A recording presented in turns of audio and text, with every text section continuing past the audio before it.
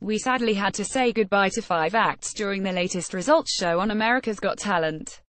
The show is currently in the second week of the quarter-finals round and the competition is being narrowed down from the top 36 to likely the top 22, if the format of previous years is followed this time around.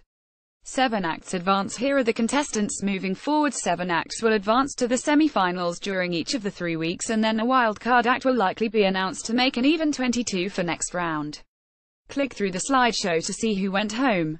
Photos NBC posted to America's Got Talent page 2, previous slide next slide, type of act, dance crew photos NBC posted to America's Got Talent Getty Fetty Wap hands out stacks of cash to fans on the street TMZ Joe Jonas and girlfriend Sophie Turner have started a family just Jared Jr. Susan Sarandon's sons looks a handsome Toofab Paul Bettany joins the Han Solo spin-off movie The Hollywood Reporter Madison Beer has a very understandable reason why she won't date Brooklyn Beckham just Jared Jr.